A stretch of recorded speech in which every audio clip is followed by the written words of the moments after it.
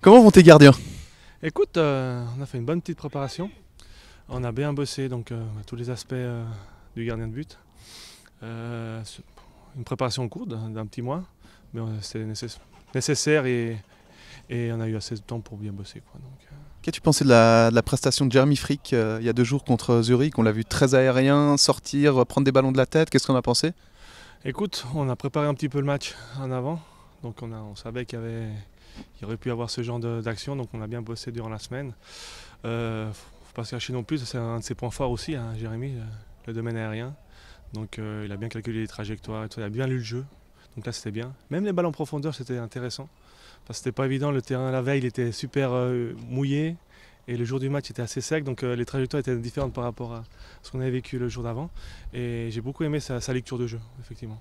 Comment se passe euh, de ton, de ton côté On sait que toi tu, tu- parles espagnol. Comment se passe ta, ta relation avec euh, le nouvel entraîneur? Bah super bien.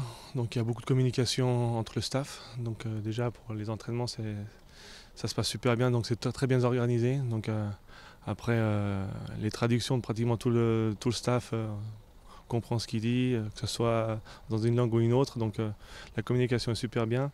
Après la préparation de l'entraînement est, est très euh, très bien aussi. Donc bien organisée. Et c'est qu'un plus pour les joueurs qu'ils ont, ils ont qu'à penser à, à s'entraîner puis à à, à faire ce qu'ils doivent faire. Quoi. Non, c'est bien. Au niveau personnel, on t'a vu dans les cages aujourd'hui, euh, visage en retour? Euh, pas du tout alors. tout le contraire.